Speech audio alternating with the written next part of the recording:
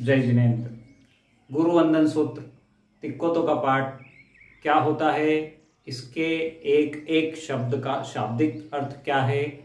और गुरु वंदन सूत्र का भावार्थ क्या है? आज के इस वीडियो में हम ये सीखने का प्रयास करेंगे।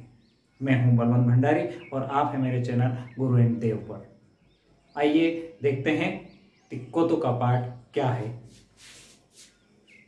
तिक्कोतो आयाहीणम पयाहीणम करेमी। वंदामी नमम सामी सक्कारेमी सम्मानेमी। कल्याणम मंगलम देवयम चेयम पजुआसामी मथेन वंदामी यह था तिक्कोतो का पाठ, जिसकी तीन बार गुरु भगवंतों को वंदना की जाती है। आइए अब चलते हैं शाब्दिक अर्थ की ओर। गुरु वंदन सूत्र, तिक्कोतो के पाठ में जिन शब्दों का प्रयोग हुआ है, वो मूल शब्द क्या हैं और उसका अर्थ क्या है, इसको हम अब हम समझेंगे। मूल शब्द जो इसमें आए हैं, तिक्कोतो, यानी तीन बार, आयाहीणम, दक्षिण ओर से, पयाहीणम, प्रदक्षिणा, करेमी करता हूँ, वंदामी, गुरुग्राम स्तुति करता हूँ। नमम सामी, नमस्कार करता हूँ। सत्कारे में, सत्कार करता हूँ। सम्माने में, सम्मान करता हूँ। कल्याणम कल्याण रूप मंगलम मंगल रूप देवयम धर्म देव रूप चेयम ज्ञानवंत अथवा सुप्रशस्त मन के हेतु रूप की, पज्जुवा स्वामी, पर्युपासना सेवा करता हूँ। मथेण नत मस्तक नमाकर वंदामी वंदना करता हूँ। ये तो थे शब्द और मूल शब्द के अर्थ। अब हम बात करते हैं भावार्थ की। नमस्कार सूत्र का जो भावार्थ है, उसकी अब हम बात करते हैं और वो है, हे पूज्य, दोनों हाथ जोड़कर दाहिनी ओर से तीन बार प्रदक्षिणा करता हूँ। आपका गुणगाम स्तुति करता हूँ। पंचांग, दो हाथ, दो घुटने, एक मस्तक, ये पाँच अंग नमा कर नमस्कार करता हूँ।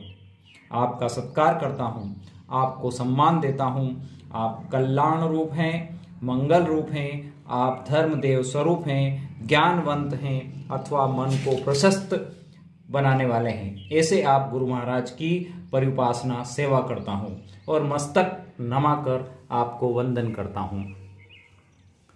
भावार्थ के बाद अब इस गुरु वंदन सूत्र तिक्कोतो के पाठ से संबंधित कुछ प्रश्न सामान्य बनते हैं। उन प्रश्नों की बात करता हूँ।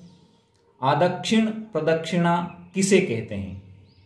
दोनों हाथों को जोड़कर अपने दाएँ कान के ऊपर की तरफ़ ले जाते हुए बाएँ कान की ओर ले जाना, इस तरह मस्तक के चो तरफ़ घुमाना, आदक्षिण प्रदक्षिणा आवर्तन कहलाता है।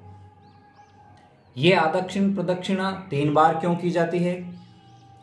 मन, वचन और काया से वंदनीय की परिउपासना करने के लिए तीन बार आदक्षिण प्रदक्षिणा की जाती है।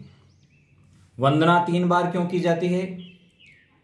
वंदनीय में रहे ज्ञान, दर्शन और चारित्र, इन तीन गुणों की प्राप्ति के लिए वंदना तीन बार की जाती है। सत्कार किसे कहते हैं? अरंत, अरिहंत आदि की स्तुति करना, उनका स्वागत करना, उन्हें वस्त्र, पात्र आदि सेवा देना सत्कार कहलाता है। सम्मान किसे कहते हैं? अरहंत यानी अरिहंत आदि को बड़ा मानना, उन्हें ऊँचा आसन देना हृदय में उनके प्रति भक्ति भाव और बहुमान होना सम्मान कहलाता है। परिउपासना कितने प्रकार की होती है? परिउपासना तीन प्रकार की होती है।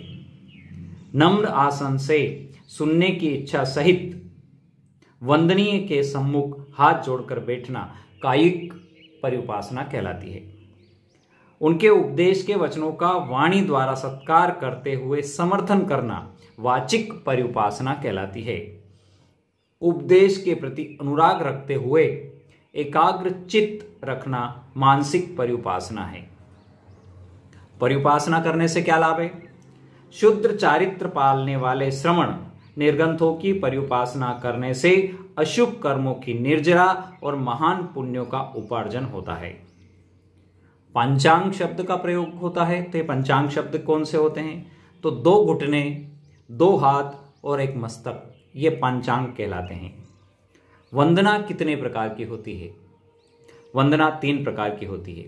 सामान्य जिसे जगन्य वंदना कहते हैं, मध्यम वंदना और उत्कृष्ट वंदना।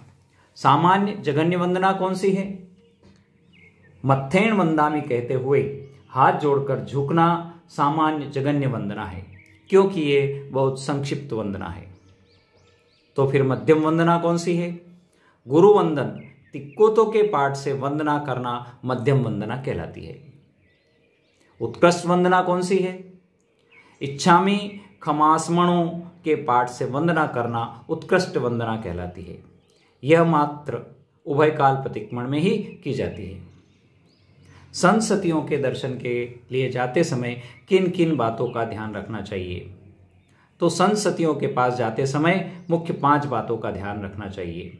सचित का त्याग हो, अचित का विवेक हो, उत्तरासंग, अंजलिकरण और मन की एकाग्रता हो तो हमें संसतियों के पास जाते समय इन बातों का ध्यान रखना चाहिए। वीडियो अंत तक देखने के लिए बहुत बहुत धन्यवाद। जय जिनेन्द्र।